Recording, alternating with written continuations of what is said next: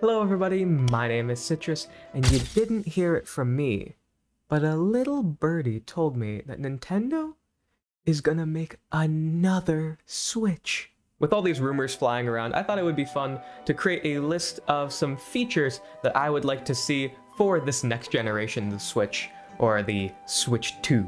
And to keep this list from getting particularly stale, I've decided to break it up into two categories, the needs and the wants, aka the more technical things, the hardware things, versus some of the silly, goofy stuff that probably only I want to see. We're going to be alternating between these two categories just to keep things fresh, but we're going to start with need number one.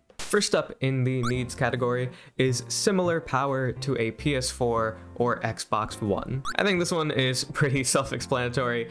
The Switch is a little underpowered, it's roughly comparable to a PlayStation 3, so it only makes sense that the next Switch would be similar to a PlayStation 4. Not much else to say about this one other than please. And the first of the wants category is DLSS. Now, if you don't know what DLSS is, it actually stands for the, what does it stand for? Actually, I, I did that as a bit, but now I need to look it up. DLSS stands for Deep Learning Super Sampling, which is a fancy way of saying AI upscaling for your graphics. Essentially, with this technology, games can look a whole lot better with a lot less processing power, which would be great for a handheld. It's quite new technology, which makes me a bit skeptical that Nintendo will jump on the bandwagon this early, but it would be really cool if they did, and I think the next Switch could really utilize it well. Next in the needs category is a bezel-less screen. Again, this is a pretty self-explanatory one.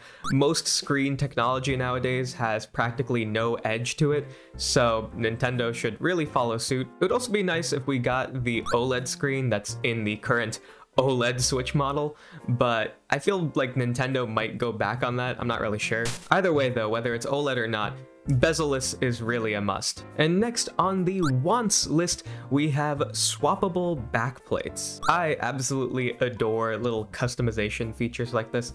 The PS5 has it, the new Nintendo 3DS used to have it, the Game Boy Micro had it, and I think it would be really cool if the next Switch had some sort of customization option like this as well. You can make so many cool limited edition designs and bundle them with collector's editions of games, and it would just be a really fun way to customize your Switch. It's certainly not necessary, but that's why it's in the wants category. Next in the needs category, we have fixed Joy-Con. The Joy-Con drift issue has been plaguing the Switch pretty much since it came out, throw some Hall effect sticks in there, and just call it a day. Actually, while you're at it, maybe make them a little bit bigger too. I feel like that would be kind of nice. And something I've kind of thought about is maybe giving them the more membrane squishy buttons like on the Switch Lite. I guess those are more leaking into the wants category, but the main thing is fix your damn controllers. Next in the wants category, and sort of tying into the whole Joy-Con thing, we have adaptive triggers. The DualShock 5 controllers on the PS5 have this really unique feature called adaptive triggers, where depending on what you're doing in the game, the triggers will actually create more resistance in them to mimic the feeling of whatever you're doing in the game. For example, if you're playing a game where you use a bow and arrow, when you're pulling back the bow, the trigger will actually create more tension similar to a real bow. This is exactly the kind of technology that I think Nintendo could really utilize well and would get an absolute kick out of. And I think it would be so cool to see what they could do with something like this in the Joy-Cons in combination with the HD Rumble it would be really cool. Next on the needs category, we're gonna rapid fire through a couple of really quick ones here better Wi-Fi, bigger storage, and better HD rumble. Again, these are all pretty self-explanatory. The Switch has pretty terrible Wi-Fi, so we really need a better Wi-Fi chip in there. The Switch doesn't come with much onboard storage, so it would be nice to get more of that. And HD Rumble being a little bit improved, I think would be a nice touch. Next in the wants category, we have a camera. I feel like this one sort of needs more of an explanation since not many people really miss the cameras on the DSi or the 3DS, but I really do. I feel like with the Switch combining Nintendo's handheld and home console markets, we sort of lost that gadgety sort of gizmo vibes that the DS and 3DS used to have. And I think throwing the camera back into the mix would be a nice way for these devices to feel more like gadgets again. I don't think it would just be for taking photos in random places like people do with their DSi.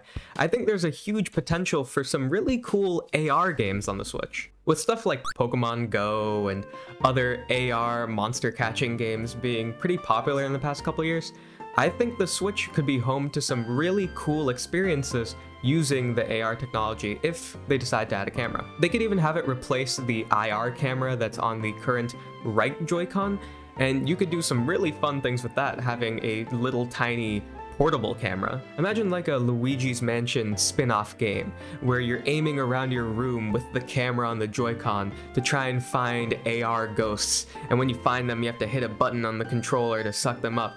It would be a really cool experience. And for the last thing in the needs category, we have full backwards compatibility. I really cannot stress this enough, but the Switch 2 needs to be able to play all of the original Switch games. I think it would be a real shame if we couldn't play all of our favorite titles from the original Switch on the next one. I know it would be a bit challenging to get some of the more experimental titles like Labo and Ring Fit Adventure necessarily working on the next Switch if the design of the whole thing changes, but I really think that it is necessary for those titles to be included in the mix of Switch games playable on the next Switch. And something that I would also really, really like to see is a native performance improvement for the original Switch games. I'm honestly not even entirely sure if this is possible, but if there is a framework for original Switch titles to just run better and run at a higher resolution on the next generation Switch without any sort of major update being pushed to all of them, that would be incredibly cool. And I can certainly think of a couple games that would severely benefit from this. And the last thing of the entire wish list as a whole, we have a more fun UI with cool features. I know that's sort of broad, but what I mean is to go back again to that sort of gadgety vibe that Nintendo handhelds used to have. With older Nintendo handhelds, you would get the system and there were loads of things to do without even necessarily playing a game. You could take photos and record audio messages and send pictures to your friend back and forth on your DS's, and it was a really fun time. There was free software like on the 3DS with Face Raiders or Photo Dojo on the DSi, or even thinking of something like the Wii with the Wii channels. There were so many wacky little channels that you could download and mess around with. Shoutouts to the voting channel. On the Switch, you can like make a Mii, look at screenshots. There really isn't much to do on the Switch, and I think that should be rectified. It'd be really cool to have something like a Face Raiders or a Photo Dojo on the Switch that would just come pre-installed. Bring back those features like the audio recording and taking photos and drawing and sending things to your friends.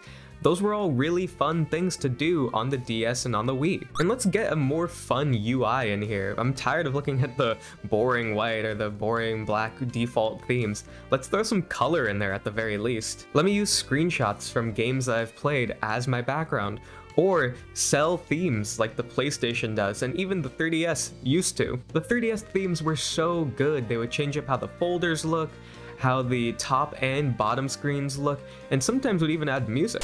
Something like that for the Switch would be incredible. It would be so cool. I know none of these things are super integral to the gaming experience, the Switch has been doing fine sales-wise without any of these features, so I don't think anyone's really missing them that much. But I do think they add a ton of charm to a system, and I think they're one of my favorite aspects of how Nintendo designs hardware and software. In conclusion, please bring back Flipnote.